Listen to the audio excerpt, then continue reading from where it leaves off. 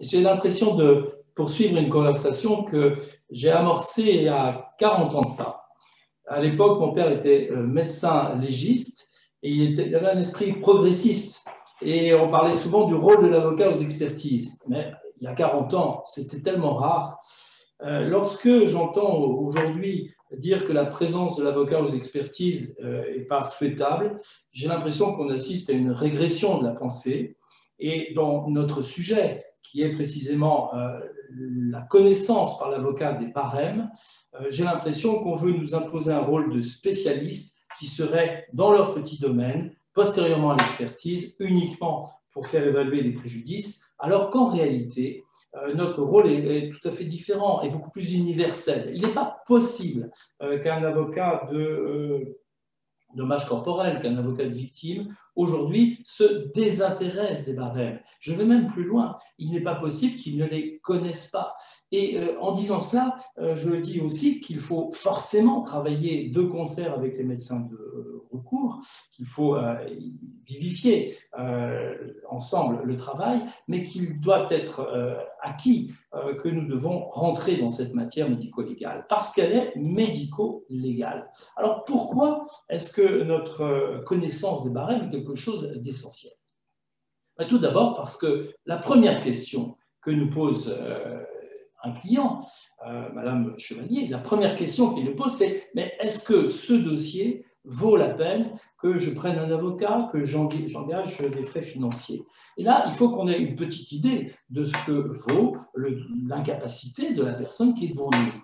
Alors, en matière, par exemple, de euh, problèmes de colonne cervicale, d'accidents, de, choc arrière qui donnent des taux d'incapacité, souvent à 3%.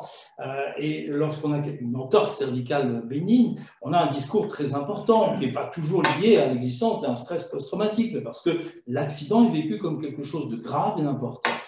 Et pourtant, là, on est obligé d'apprécier en quelques secondes si ce dossier va justifier un taux d'incapacité important ou un taux d'incapacité modéré.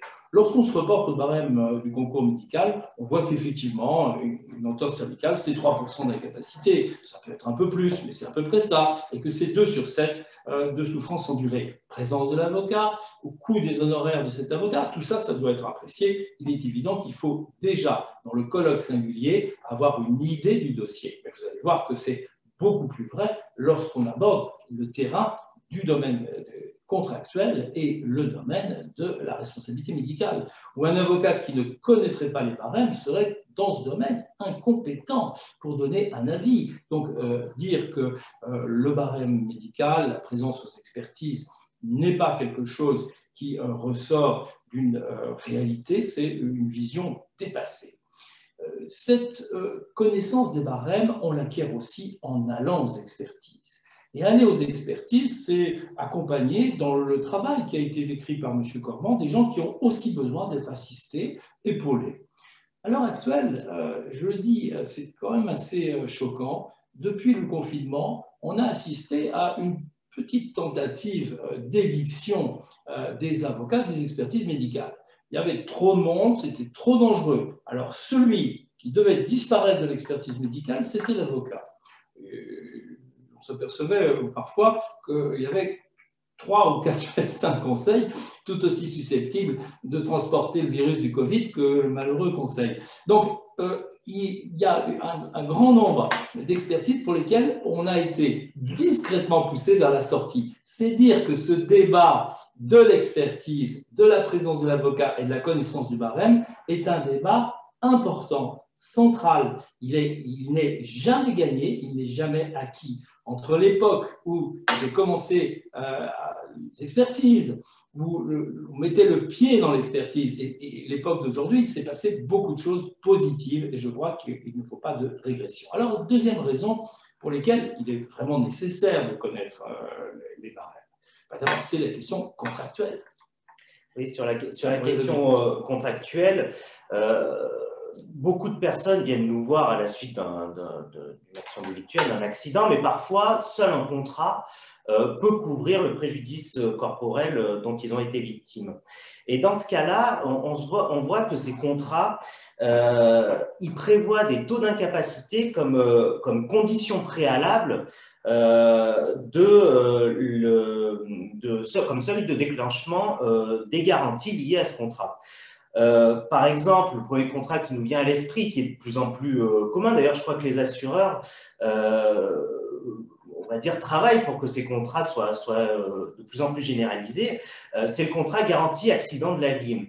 Euh, dans ces contrats, on s'aperçoit souvent que euh, pour que ces contrats puissent euh, offrir leur garantie, il faut que les victimes dépassent in fine un seuil d'incapacité, un taux de 5%, de 10%, de 15%, de 30% selon les contrats.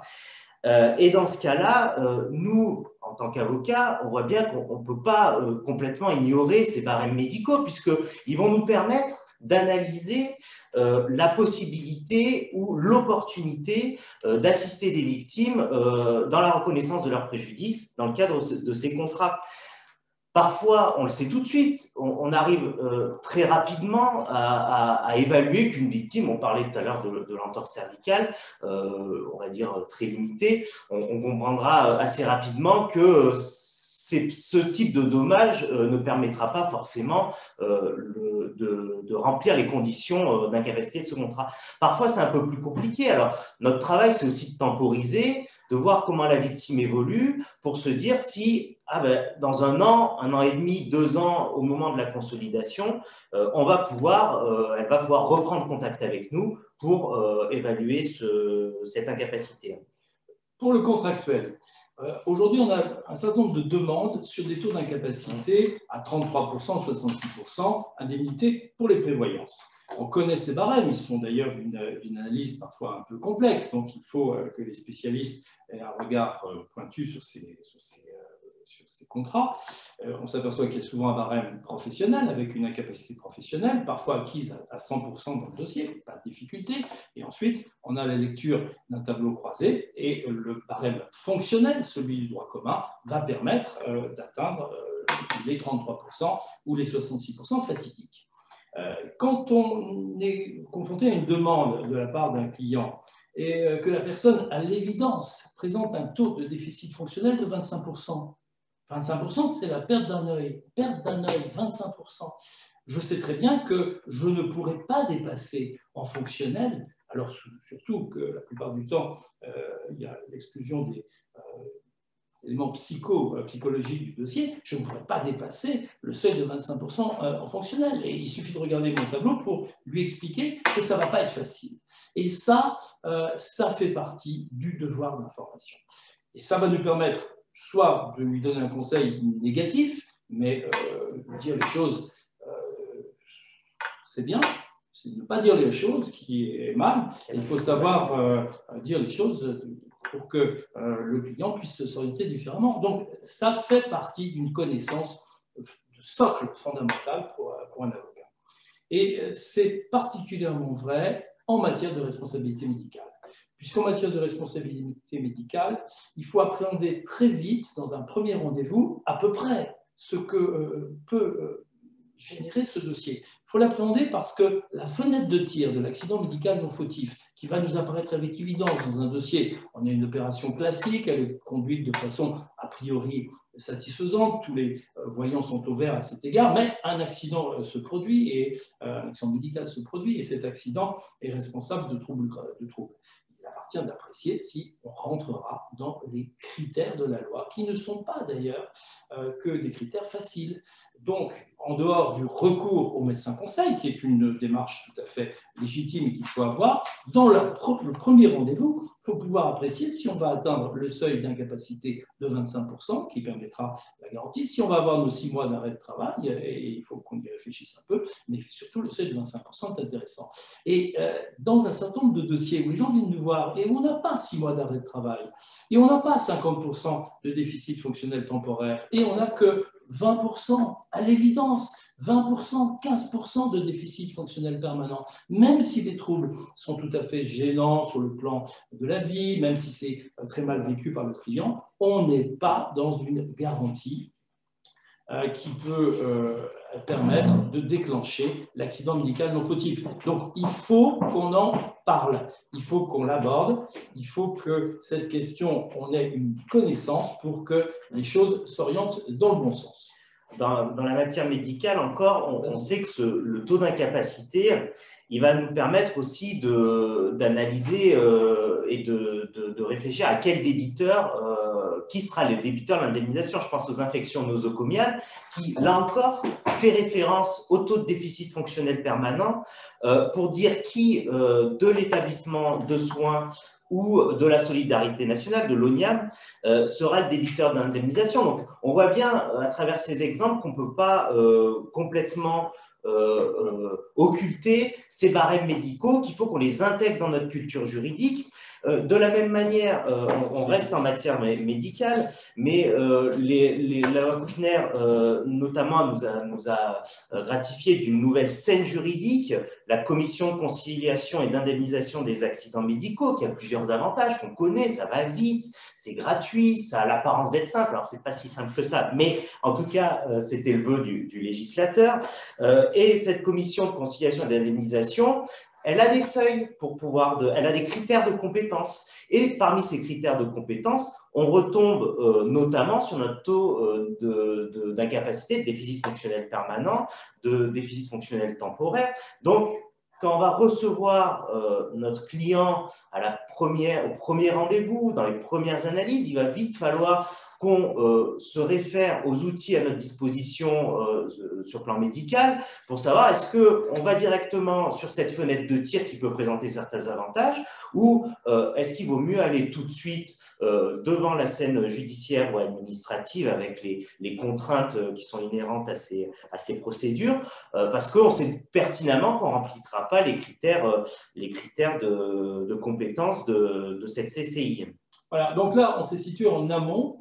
Euh, de l'intervention euh, dans une phase première où on doit avoir un regard euh, pertinent et ensuite on va rentrer dans une phase plus active où on va participer à l'expertise. Et là, il y a un vrai échange à construire avec le médecin conseil, mais on trouve pas toujours autant de médecins conseils qu'on voudrait, c'est pas toujours si simple, notamment en matière de responsabilité médicale où il y a des déplacements à avoir, parfois à la dernière minute, parce que l'expertise a été initiée avant qu'on ait été saisi. Et là, la présence de l'avocat à l'expertise est importante. Dans un domaine dont on a parlé un peu plus tôt, particulier, hein, qui est euh, le domaine du traumatisme crânien, où on a pu participer, vivifier, comprendre ce qui a été dit et évoquer les taux d'incapacité. Le barème du concours euh, médical qui est, ici, on le connaît quand on a fait quelques formations, des U trauma crânien, on peut assez vite euh, apporter des éléments de réflexion pour savoir si on a des troubles cognitifs mineurs, 5 à 15%, ou un syndrome frontal sévère, 30 à 60%. on peut participer ça, mais en dehors de ça, euh, la dernière expertise à laquelle euh, j'ai participé, euh, avec un médecin conseil très connu, hein, sur la place de L, la bonne ville de L. le préjudice d'établissement, c'est plus mon problème, maître. Non, non, le préjudice d'établissement, c'est un problème de droit, c'est plus un problème de médecine. L'incidence professionnelle, non, non, c'est pas de, pas un problème de médecine. Je refuse. Je vais juste mentionner le minimum. Donc, il y a réellement aujourd'hui dans le questionnement de l'expert médical, avec la nomenclature d'un TIAC qui a apporté des postes de préjudice beaucoup plus fins, on a exhumé, l'expression a été employée, des éléments de, souffrance qui méritent euh, d'être aujourd'hui codifiés, il y a un rôle à jouer, et ce rôle à jouer, on ne peut jouer que d'égal à égal. Euh, quand le médecin conseil me dit que le préjudice d'établissement, ça n'est pas de son, de son ressort, et ce n'est pas un médecin conseil débutant, et que ça n'apparaîtra pas dans son rapport d'expertise, on est quand même obligé de lui, dire que si, que le préjudice d'établissement existe ici parce qu'on a présence d'une personne cérébralisée, etc., etc., et faire un dire. Donc, il faut participer aux opérations d'expertise, avoir une connaissance des barèmes, en particulier des barèmes indicatifs euh, de la Société de médecine légale sur les souffrances endurées, sur les préjudices esthétiques, parce qu'on a des éléments à apporter à ce niveau-là. Et puis, on sait qu'avec la nomenclature d'un TIAC, on a vu évoluer la définition du déficit fonctionnel permanent qui intègre, rapport à la période antérieure que Cormand a bien connue, euh, moi aussi, et puis bien des confrères de, de l'autre côté de l'écran, on a quand même aujourd'hui une dimension d'appréciation de la perte de qualité de vie et des souffrances post-traumatiques. Il faut bien qu'à un moment donné, cette nouvelle dimension qui intègre plus l'être humain comme sujet et pas seulement le déficit fonctionnel soit pris en compte. Et c'est là que par rapport au référentiel, au barème indicatif du concours médical, on peut parfois discuter pour essayer d'obtenir une petite euh, amélioration des choses. Par exemple, la perte d'un œil, 25%, mais on admettra volontiers que ça peut aussi entraîner des photophakies, des douleurs, etc. Et ça peut passer à 28%. Pourtant, la perte d'un œil, c'est 25%. Fonctionnellement, c'est 25%. Idem pour une amputation euh, de, du genou, 30%. Mais la douleur du manque fantôme, elle n'est pas comprise dans le barème euh, médical. la perte de qualité de vie pas trop non plus. Donc, on peut imaginer quand même que devant la présence de douleurs fantômes majeures dans ce dossier euh, et d'éléments comme ça, on puisse euh, amener l'expert à réfléchir euh, à notre rôle, avec beaucoup de discernement, pas non plus, mais, on peut discuter de ça. En fait, qu'on s'aperçoit là à travers ces discussions, c'est que aujourd'hui, la nomenclature, elle a rajouté du juridique dans le médical. donc, on est certes, on, peut participer à, ces discussions, parce que c'est des discussions juridiques, mais on ne peut pas non plus occulter complètement ces barèmes. Et par exemple, et là on anticipe un peu sur la partie suivante, euh, où on expliquera comment on, s'affranchit un petit peu parfois de, ces barèmes, comment on doit les utiliser. J'ai bien aimé d'ailleurs l'intervention de, de M. Kézenar Bounaz au début, où il montrait son, rabot. Euh, avoir un rabot, est-ce que, c'est, est-ce que ça suffit? Est-ce que c'est le bon rabot? Est-ce que euh, il faut savoir encore faut-il savoir l'utiliser? Voilà, c'est, en substance ce qu'on se disait. Et euh, pour en revenir à, l'expertise, euh, on sait que par exemple la Société de médecine légale euh, parle, nous, décrit, propose une, indemnisation, pas une indemnisation, mais une évaluation des souffrances endurées. Par exemple, quand on regarde les souffrances endurées à, à 4 sur 7, c'est des fractures complexes d'un membre inférieur ayant nécessité plusieurs interventions chirurgicales, une immobilisation prolongée, une, hospitalisation de l'ordre d'un mois, une rééducation de plusieurs mois, une incapacité temporaire de plus de six mois. Donc là, on recommande un, quantum de 4 sur 7. Mais euh, il n'y a pas de vérité absolue et euh, il me semble encore euh, aujourd'hui, on est sur une appréciation in concreto du préjudice. Euh, et du dommage. Donc, euh, il faudra intégrer, euh, par exemple, une multiplication sur ce type de fracture spécifique, mais par exemple une multiplication de gestes chirurgicaux en raison d'une seule arthrose. Il faudra aussi intégrer le retentissement psychologique qui est propre à chacun. Et donc, on va, à partir de la connaissance de ces, de ces barèmes, de ces évaluations, eh ben, on, va, on va essayer de s'en départir un petit peu, d'en sortir pour pouvoir vraiment faire euh, notre travail qui est d'analyser concreto euh, le préjudice.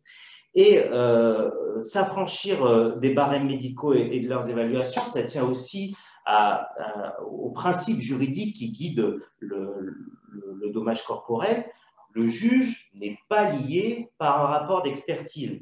Alors, j'ai vu les études de tout à l'heure de M. Rivolier, où on voit que, euh, effectivement, dans, la majorité, voire l'immense majorité des cas, un juge ne, discutera pas euh, des évaluations médico-légales, mais il y a un cas, et cas. Mais, euh, Oui, mais juste ce qu'expliquait quand même M. Rivolier, euh, c'est que d'un autre côté, le juge disait on ne pose pas toujours la question aussi. C'est-à-dire qu'il renvoyait aux avocats en disant les avocats ne euh, m'ont pas présenté d'analyse de, différente du rapport du rapport d'expertise. Ce qui frappe beaucoup quand on plaide des dossiers de dommages corporels, et pas seulement de dommages corporels, de responsabilité médicale. Ce qui frappe beaucoup, c'est l'intérêt des magistrats pour la matière matière euh, médicale. Et l'intérêt des magistrats pour euh, des explications qui sont peut-être juste à la frontière du rapport d'expertise ou qui ajoutent quelque chose. Et, donc, euh, on n'est pas, c'est une vision, là encore, je, vision un peu régressive, de considérer qu'on devrait s'en tenir à des évaluations financières, à des principes de droit, la Cour de cassation, etc. Non, un dossier de, vice corporel, euh, en particulier de responsabilité médicale, c'est encore plus vrai, c'est un dossier où on va apporter des éléments euh, de connaissance en essayant de, développer notre culture. Et euh, lorsqu'on plaide ce type de dossier, parce que le barème a dit euh, quelque chose, parce qu'il dit quelque chose, on peut aussi exprimer l'idée qu'il faut peut-être y ajouter d'autres éléments qui euh, s'y rajoutent. en matière de souffrance endurée, c'est assez, assez net. On a un certain nombre de rapports d'expertise où les souffrances endurées sont évaluées à 4 sur 7, 5 sur 7.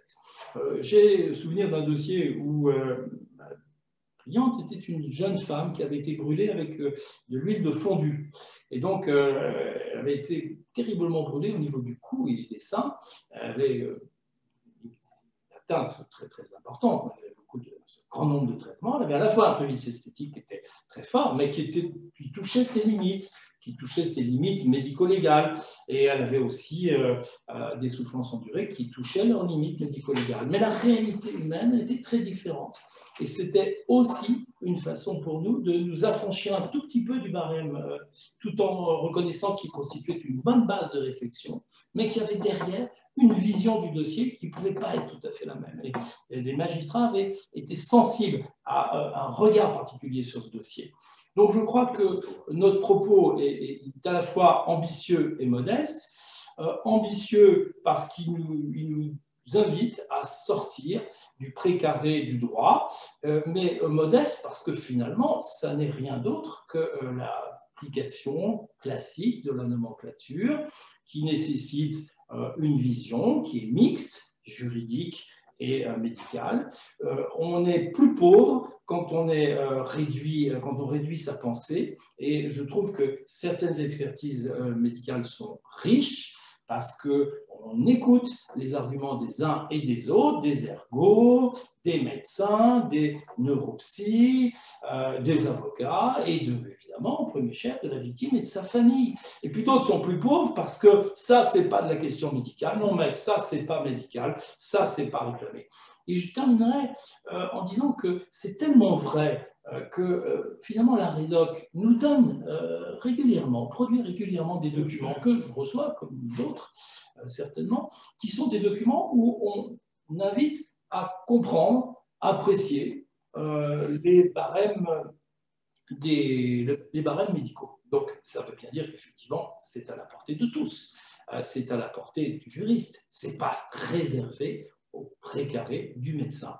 Mais le médecin reste l'architecte de la compréhension médicale. Nous sommes peut-être que les sous-traitants, mais ces sous-traitants-là ont une Euh, c'est une qualité d'ouverture d'esprit, enfin, je l'espère. Et puis, dernier point, je pense qu'il ne faut pas nous euh, présenter comme des spécialistes en nous euh, invitant seulement à faire le stucco du mur. Non, on fait autre chose. On peut aussi avoir une vision d'ensemble du dossier. On est des spécialistes parce qu'on s'intéresse à la matière, parce qu'on se cultive. Voilà. Donc, les avocats qui aujourd'hui font recours de victimes, s'occupent de recours de s'occupent de victimes, doivent avoir, c'est évident, une culture des barèmes, des barèmes médicaux et euh, je plaide vraiment pour que ce soit une idée acquise. Et je sais qu'elle l'est.